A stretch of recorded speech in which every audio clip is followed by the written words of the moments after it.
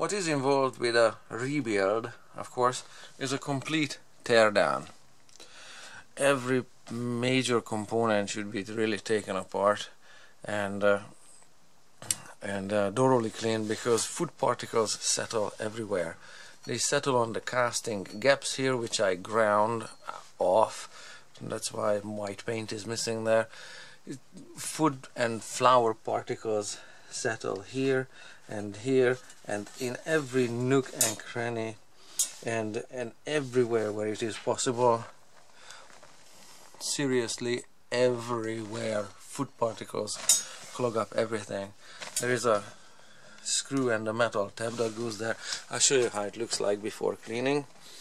It comes apart really really easily. Seriously three bolts there at the bottom three bolts at the top that hold the upper case. And uh, I don't recommend that you take apart the entire mechanical uh, gear assembly but uh, but that's really the only way to clean the top because food particles get into it.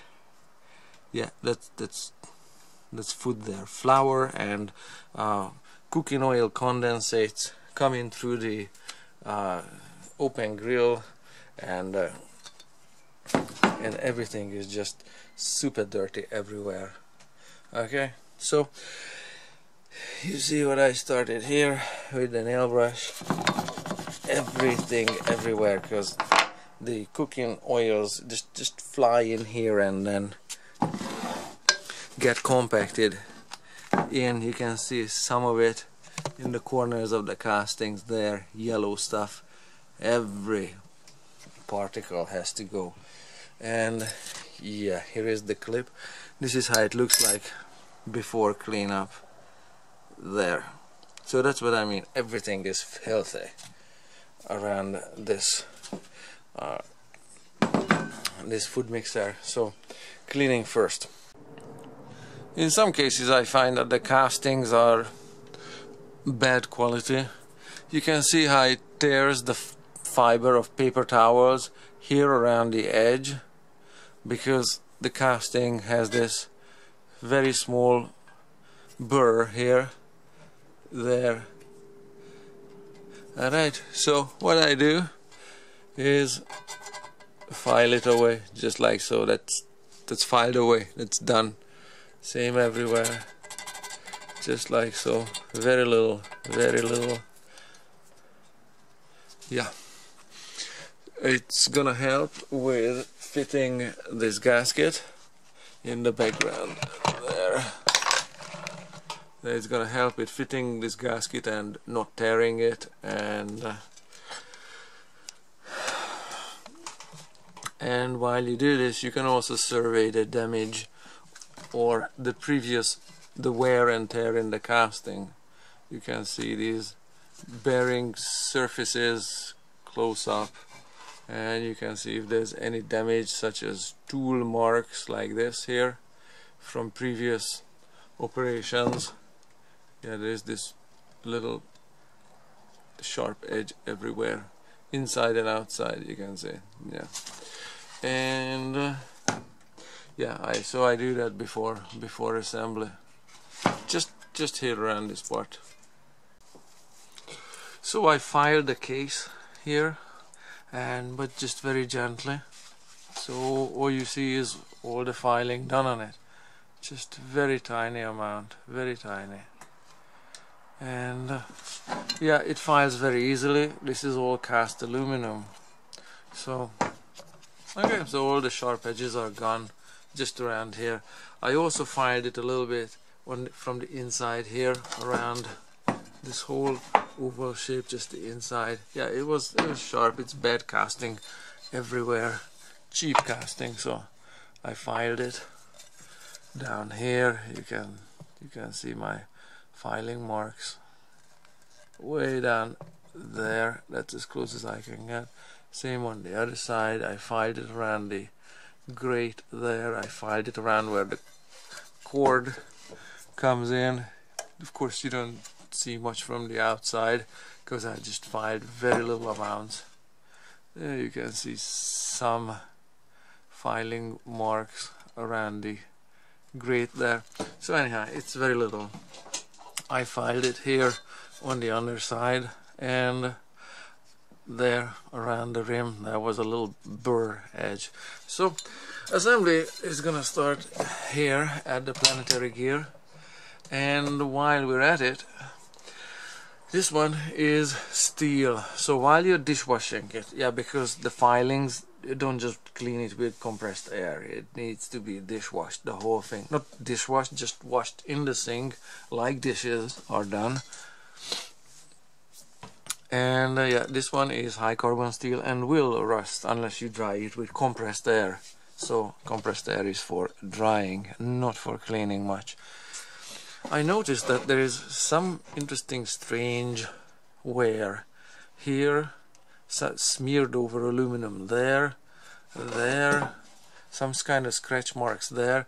So uh, this planetary gear works. Is this part this part uh, goes in there. But uh, something like let me just set it over here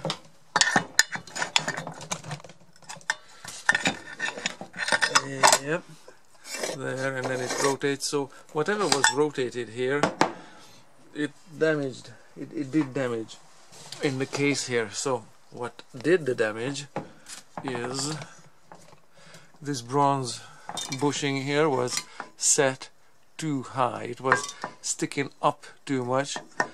I tapped it down a bit. So now it's flush with the white part here or with the outside painted part here. So now it's not sticking up in into this half case casing half. So how this stuff works of course it's got this part that goes in there. I'm just gonna kind of sort of assemble it. So this one goes in there. I don't want to tap it in because I want to because it's a little friction fit it needs a little lubricant such as grease. So I'm just gonna leave it at you get the idea. And of course this part needs this spindle. The spindle this is where the uh, where the beaters attach and lock into position. So this one gets dirty. Let's see how it looks when it's clean. Yes. This chamfered edge there that that's all packed with dirt usually. Same on the opposite side of course.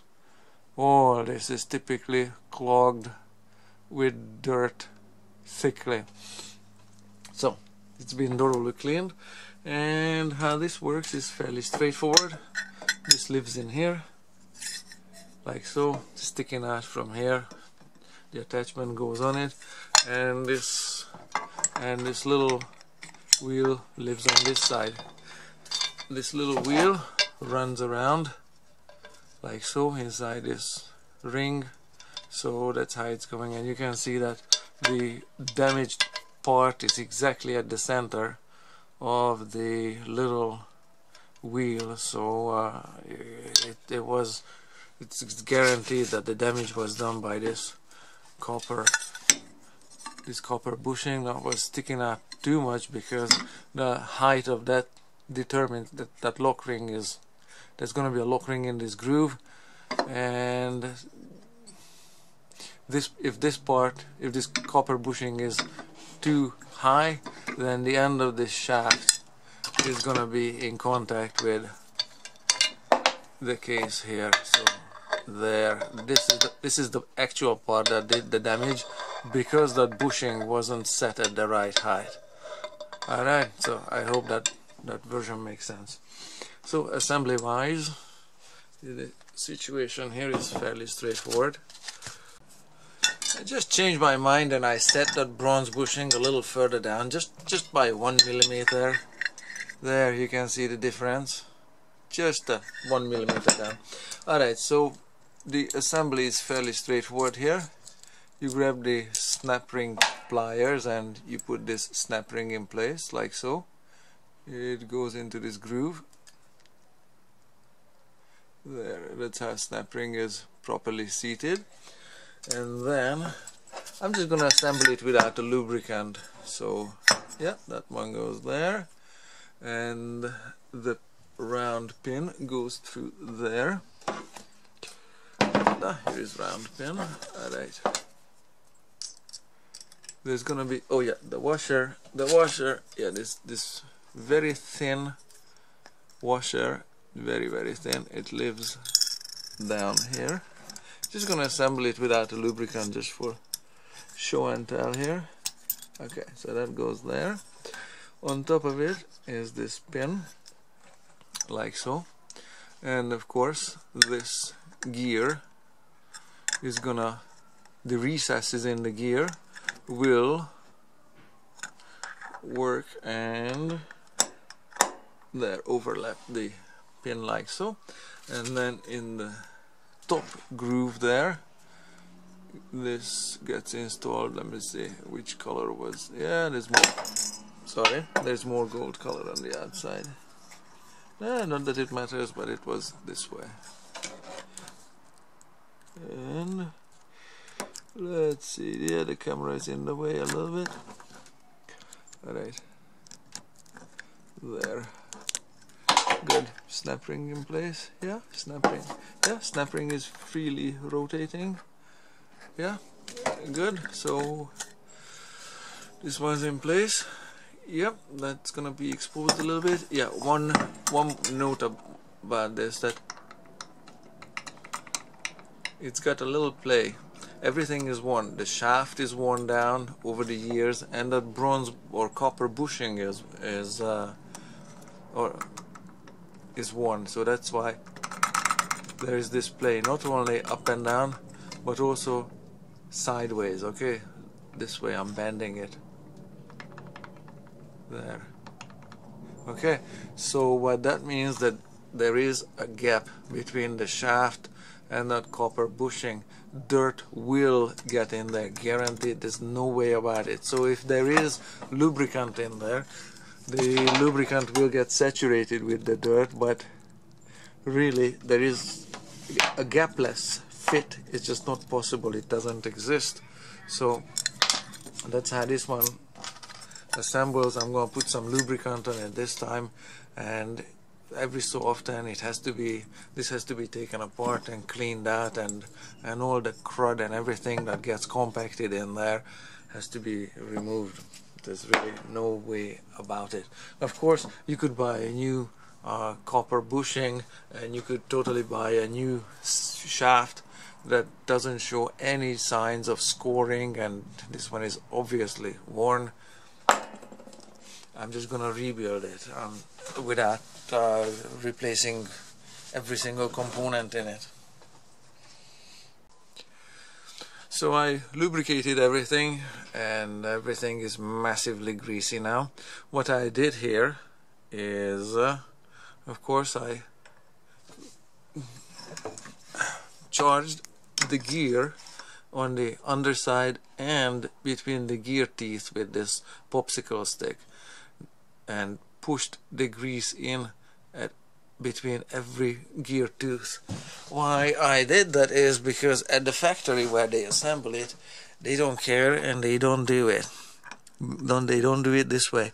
What they do is they just is they just place a blob of grease inside here and and they call it close enough and then it's assembled like this that the case is damaged or whatever because they don't care and the uh, the grease and, and and they don't end up with greasy fingers. And the grease is like you know ketchup or or pump soap uh, bottle dispenser so it keeps their hands clean and whatever. And they don't really care especially if the assembly place is Mexico and or China or whatever. If there is no quality control in place you know uh, they don't care if the grease gets into the gear teeth at all. As long as it's in say one ounce of grease is in uh, that's uh, that's all management cares about. One ounce was uh, assigned, uh, grease was applied with one pump and whatever. It's gonna spread itself. No, it won't.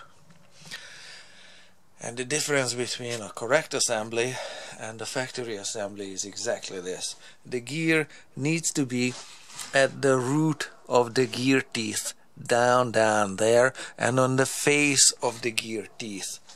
If the grease is uh, if the grease is underneath this ring it doesn't do there any good. If the grease is inside here these fins these these these casting spokes there it doesn't do there any good. There is no motion here or here or underneath the ring there is no motion. Here here or here. The motion and the biggest place of friction is on the gear teeth. That's where the grease needs to be. All right? And uh, uh, teaching uh, teaching the uh, foreign worker to place the one ounce of grease I guess is already much much enough task. So they don't bother with the fine microscopic detail that the, where exactly the gear uh, the the grease should be so there Alright, so that's uh, that part of the assembly. Of course, I'm gonna put the snap ring on top. I'm just gonna clean my hands and uh, and then uh, we'll assemble something else. For the next bit of assembly, I have all the components here. This bushing was placed into the casing, and it kinda it doesn't it doesn't come out on its own. It needs a little tapping, but it's been lubricated. So whatever lubricant is on it that's all it needs. Whatever you see that's all it's gonna get. There. This one there's not gonna be a lot of rotation on this one but just in case it wants to it's lubricated for it. The other parts that are needed for this one are these two these two gears. This is gonna be replaced of course because if you look at the teeth they are dished out massively dished out. Look at the top of the gear tooth width width. See how they how wide the gear tooth is here and how skinny it is there. Same on every gear tooth. That's an intact full width and that's the worn part and you can see how the worm gear um, dished out this worm follower every every single tooth has been thinned out and weakened there. You know this could go back together you know it's still gonna run but uh, I've decided to replace it so this is a replacement this fiber washer is also a replacement. It just wore away. It's kinda halfway halfway between the garbage can and I'm just waiting for a new one. And I placed an o-ring on the shaft here super simple just don't tear it. This fiber washer lives down this shaft. There keep going down with it and past the o-ring. This should go on before the o-ring so but because this is garbage I'm not gonna bother with it. This is just a dry fit. And then of course once the fiber washer is in place this one just moves in like so and the little gear and the gear ring they will mesh first I would need to charge the gear ring with grease just as I did with the with the little gear. So I'm gonna skip that. And when they are together that's how the bottom looks like. The there's always to be food and dirt on this one all the way up to this point. But food dirt will also let me take it apart again. Alright. But food dirt will also fly into this casing here okay? So uh, just as, just as dirty as it was before same thing is gonna happen. So that's all the grease this gear gets. And and likewise this gear ring is gonna get nicely charged because all the gear grease is on it now. Is just from whatever got transferred from the little gear in the two circles that we did. And then once this shaft is properly in uh, it's gonna sit about at about this height. And this this gear needs to go on first. And this is gonna need some tapping because it's that's how it's been designed that it's gonna spin once it's down at this thickness but uh, but it's a little big and wide here. And they work together. You can see how the shapes match and meet I'm gonna keep this one. It does have some wear on it but nothing nothing too bad. There is definite wear on it. And and of course this little pin goes in here as usual. And this is gonna be on top and it, this also needs a little tapping down and then this snap ring goes in place there. Alright so that's the that's the assembly sequence. I'm gonna lubricate everything. Oh yeah I have to wait for the new part first. Fitting together these two frame parts is fairly straightforward. On this part the handle is up and on this part these spikes that hold the bowl is up. That's important which way is up because you don't want to fit this one upside down. Then later find out you can't attach your mixing bowl to it. So inside this part here there is this push rod which has a thread at the end. On the threaded end a spring, a washer and a nut go. The push rod is operated by the lever through this white plastic cam. This push rod is bent so when the cam is up the rod is raised when the cam is down the push rod is down so it doesn't have any gears or anything inside this is just a two position lift and lower on this uh, on the uh, on this part that uh, holds the bowl. So what needs to be done here is just super straightforward. Fit these two pieces together while at the same time have the push rod through that eye in the that that would be that would be the eye on the second part and I push rod is through it. So what I need to do without losing the push rod and everything flip it around and put the nut the bolt and the washer on it. Super straightforward. So now the washer, the spring and the nut are in place. And uh, here is the here is an 11 millimeter wrench that works. And this nut has an, a nylon insert on it. And I swear this was just hand tightened on it that's how I took it off. There that's about that's about I was really seriously the end of the thread wasn't showing it was just just like so. And that's all that was to it. Alright so now this just lowers and raises and it stays in position when it's up. That's good. There. There that's good. So what we need to do next is we can put it on a on its uh, foot or base. This part would be the base and of course these three screw holes on uh, on the upright correspond to this. Yes the camera is in the way. So what needs to happen is something like this. Let's see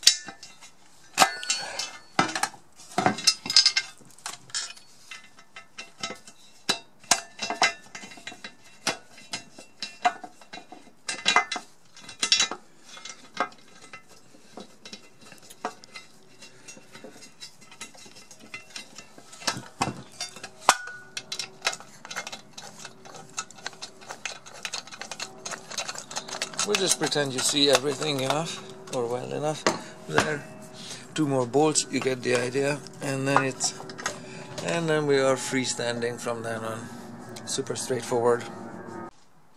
And it's a more more useful angle and seriously these bolts were so lightly torqued that that uh, the bolt or screw heads are not even damaged you know what I mean when power tools or whatever tools just damage the bolt heads.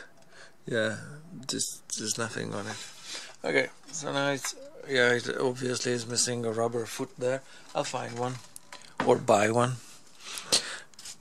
Okay so now we can put the top part on which uh, still needs motor and everything but uh, before we can put the motor in it of course needs to be mounted. So same idea same type of three screws. One goes there. Another one goes there and the third one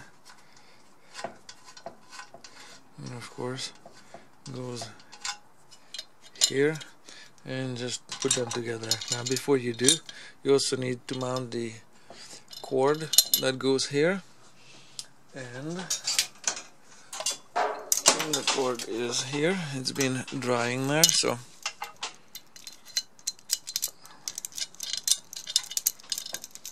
It's been washed and sterilized thoroughly as cooking oils uh, condensate on it and it's just yucky. Alright so just by the look of it this is gonna be fairly straightforward. Oh, yeah. There. I don't know did you see that? Okay let's go again. It just goes down and then it's out of the case. Like so. Just with a little bit of push you get the idea there it gets pushed into place like so so then it's in. Alright now I can put it in place. And on the upper on this upper part I got this pin here that lines up with this pin with that hole there.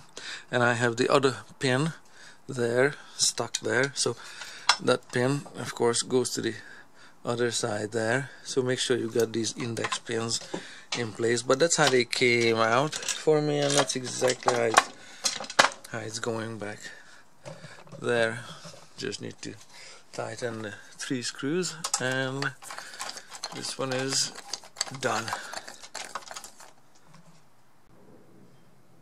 Of course if this, this part is being replaced because it's worn the other part is also worn. These two mesh together and rotate together something like that. There you get the idea. And so this one's badly worn. This one is also massively pitted.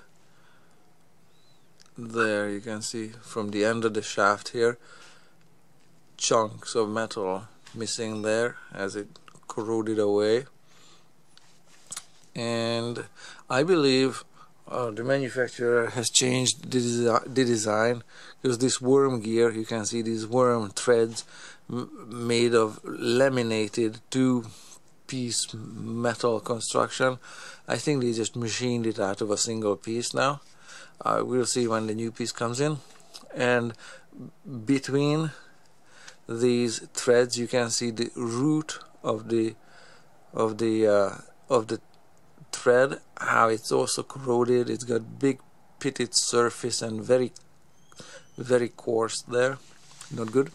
And we have on this one of course teeth worn and teeth or teeth broken and chips of metal missing here and here. And uh, there is a chip missing there and by and large in in this line is where the greatest wear shows. You can see the dish that surface there.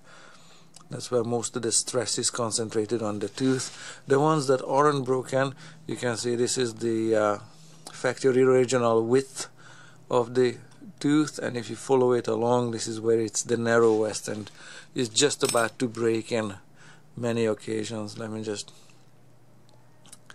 let me just get the camera to focus and there we go. You can see there another broken tooth and another broken tooth. So you get the idea. This one needs to be replaced as well. So uh, another part that I'm working on is this one. Oh, inside this one lives this bevel gear which just goes in there like so. And this is the exposed part that you see rotating and this is where the attachments go for pasta making and meat grinding and such. Of course this recess was full of food dirt. Uh, this bevel gear that we looked at previously meshes with this one and they run together like so. You, you get the idea there. And this one is intact. Somebody might have replaced it before I worked on it. Because this is impact. Either that or is hardened a lot harder than this one. So only this one wears and this one doesn't at all. I'm not sure which the case might be. And I'm also I'm also working on this aluminum casting because it's also also coarsely crudely made. Let me see if I can get the camera to focus on some of this wire edge that I'm trying to show you here. Maybe there thereabouts. Yeah that's that's good. So it's got a burr edge there that needs to be removed with the slightest amount of filing. Something like this. And let me just make it sharp. Not there thereabouts thereabouts. So I don't know if you can see aluminum filings and metal dust. Yeah there you can see some microscopic amounts of metal dust. I'm filing the the burr off because it tears the this gasket and leaves an imprint in it. And I don't want the metal burr edge to be there you can see that imprint from the edge.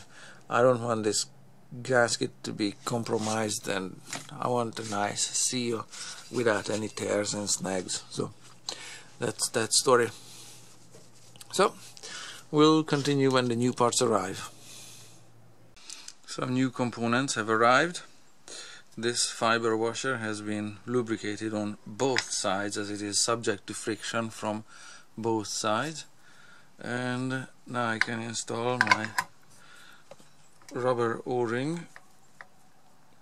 And I also have the rest of the gears. So there the o-ring goes there. This old fiber washer is throw away right about now that we verify that the new one fits. And then because this o-ring seals inside of this round sorry inside of, inside of this round bushing they need to be kind of tapped together a little bit. Tapped meaning very little force. Mm, thereabouts. There we have it. It's together. Now the o-ring is holding this shaft at the proper height so it doesn't fall out. And I'm just cleaning it from grease on the underside that you don't see now but uh, don't worry about it. Now the next part is this one. This one just lives on top of this and this one does need a little bit of tapping to get it started.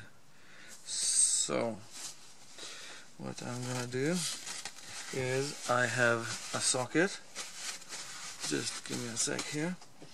I have a socket that fits over it. And this needs to be tapped down with a hammer. Just like just like so. Something like that. I'm cleaning up grease from everywhere in the meanwhile. And a few seconds later and three taps later we've got this. I put some grease on top of the bushing that's in the hole holding the axle in place. And it needs to be tapped down yet again with a, little bit of distance there. But uh, I need all the lubricant there. Where I don't need any lubricant is here because there's no rotation here. There was a ton of lubricant all here. We don't need any there. The lubricant is needed between the gear that's rotating the underside of the gear and the top of the bushing for the uh, that holds the axle. Alright so give me a give me just a little bit of time here. I'll be tapping it with the same socket or so. Nah, yeah the same socket will work. Maybe another socket on top of the previous socket. And I'm just holding it together with from the underside with my hand here just like so. And there that's about all the force it needs. There. I think that's that's good. At that's good. That's tapped home. Nah, let's give it just one more tap just to make sure. Yeah that's about as good as it gets. Okay next one is the black gear this one with the pin. Now the pin goes through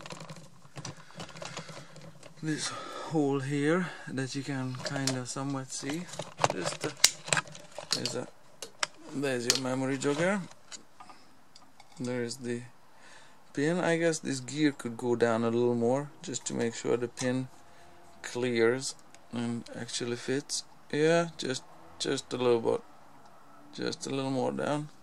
Okay and then this one just slides down as previously. And they lock together like so. Alright I'll be tapping a bit here I'm using this worn and old shaft to line up this pin and tap it in. There. Something like that looks good. Alright eh. now let's put some grease into this black and and let's see if we can lock them together thereabouts that's plenty lubricant for the next 20 years.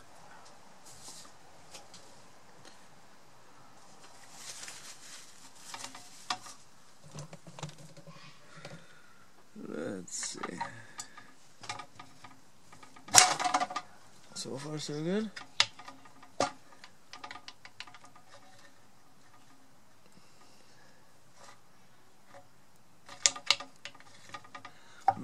Yeah, maybe adjust a little bit on the length of the pin.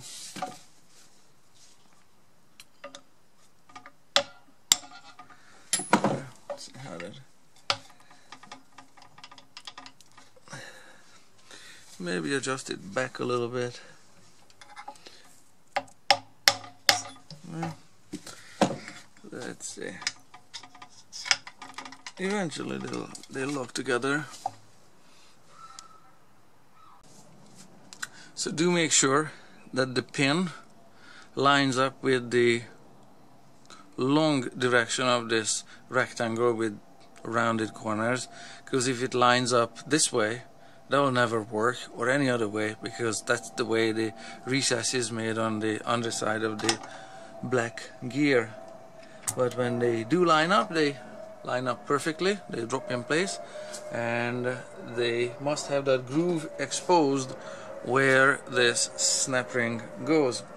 I'm just gonna wash my hands and then install the snap ring. Yeah, it's a tight fit.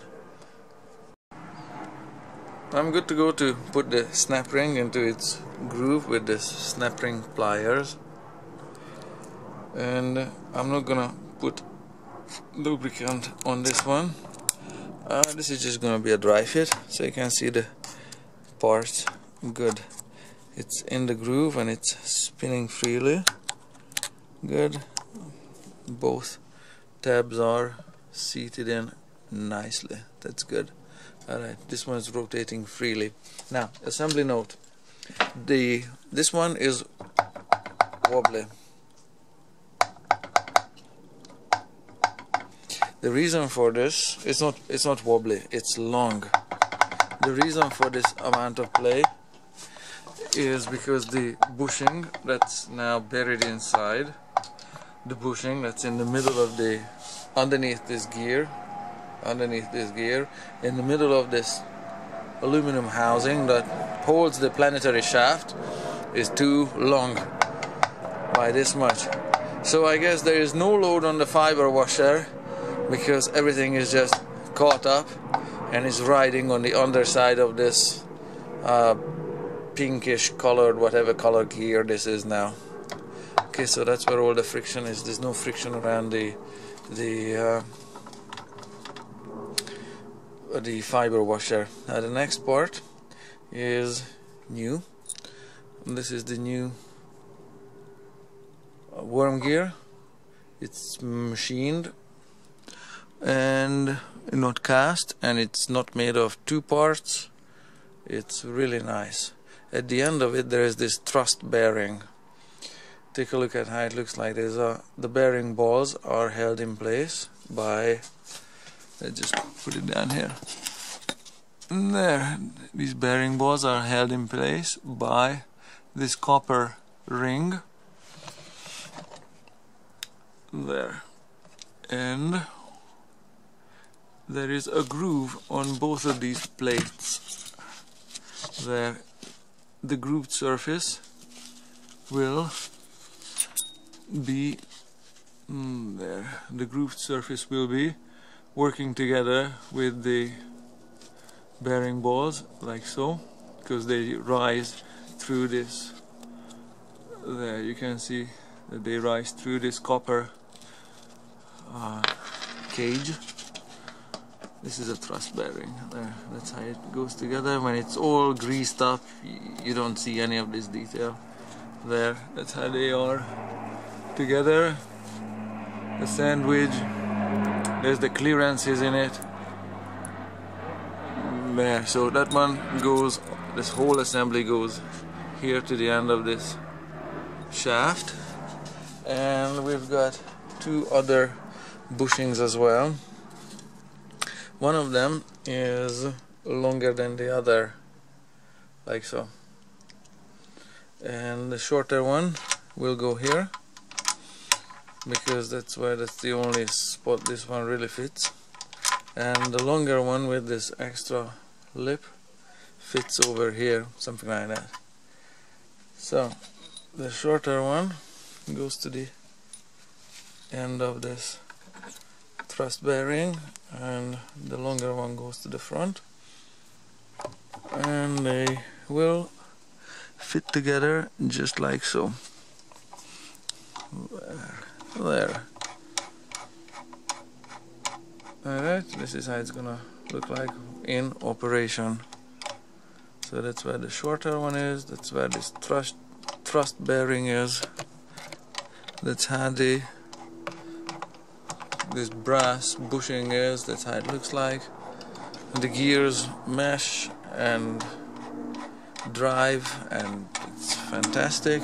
And if I drop the motor in place just like so and spin the motor there you can see how the whole thing works.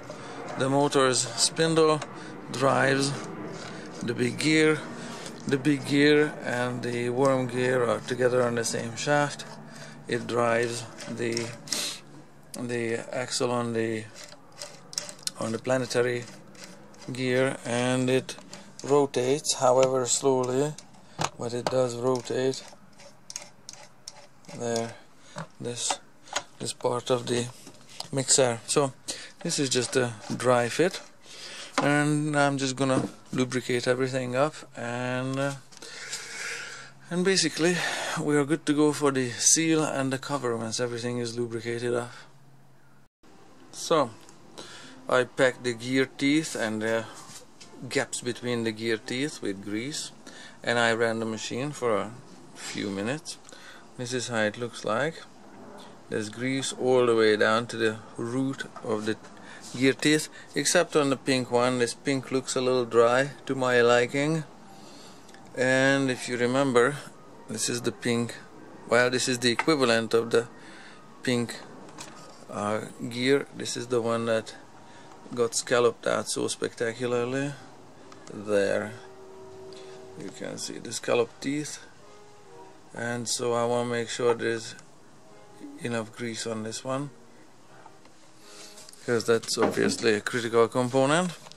And uh, there's not a lot of grease left on the motor's uh, arbor. And there is grease between those teeth but uh, this is a reduction gearing. So when I spin the fan on the motor you can see the motor is running the fastest.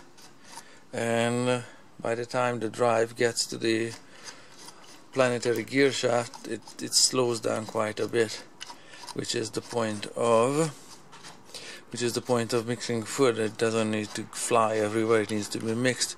So you can see the pattern how the gear is being displaced on the on the gears gear teeth.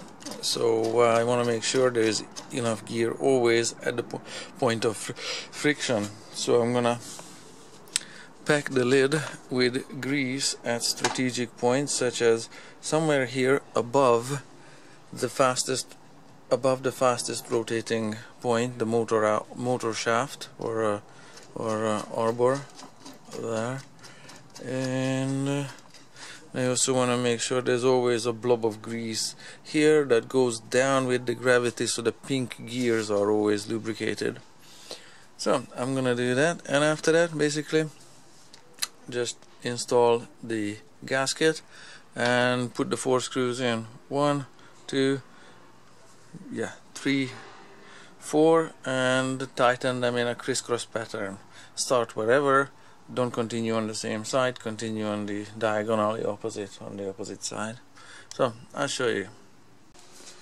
After repeated test runs this is how they always look like.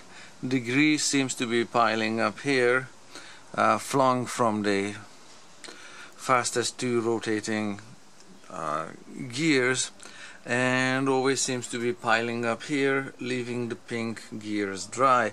So uh, all I can do about that is leave a bunch of grease still up here. So when it warm when the when the grease's temperature rises with friction and uh, prolonged operation it still can seep down and ooze down and uh, and get where it should be.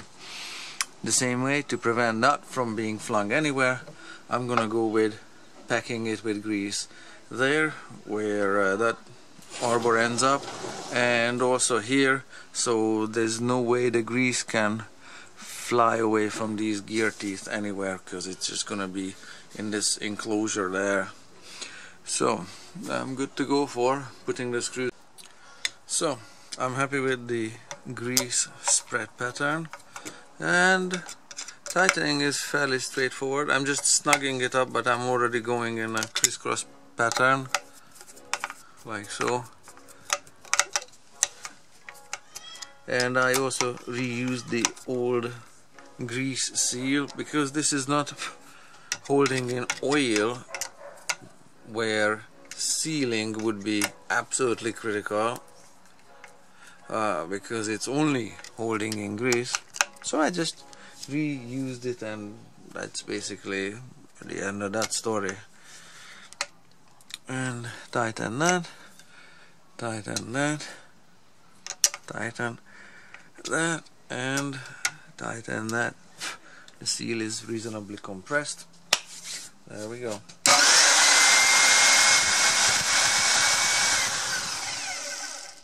Alright eh. I hope it's not going to be this loud when it's all together.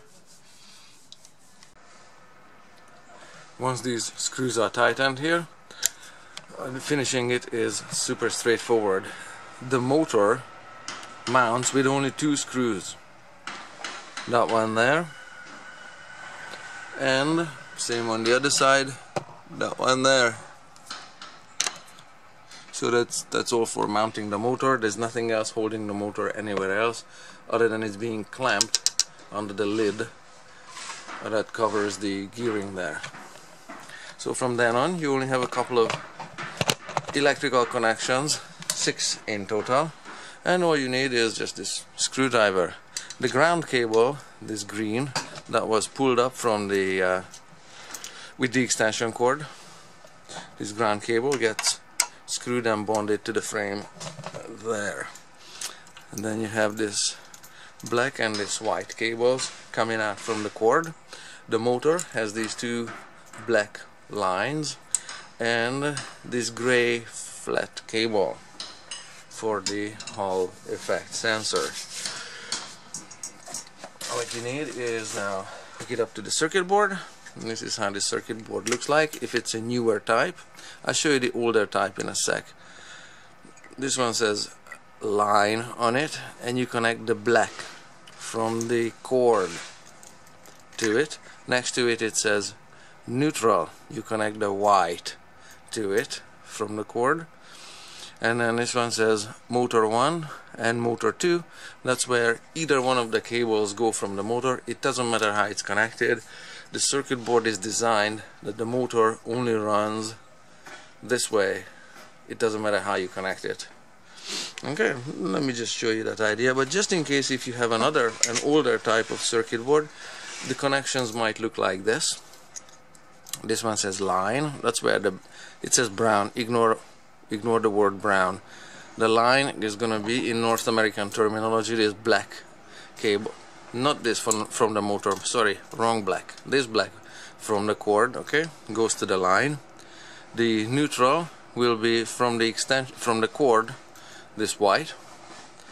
And then again motor 2 and motor 1 don't matter which way they plug in. So that's all on this one. And you have this three pin connector. That's where the gray wire or gray cable plugs into and then I'm to hook it up with this newer type.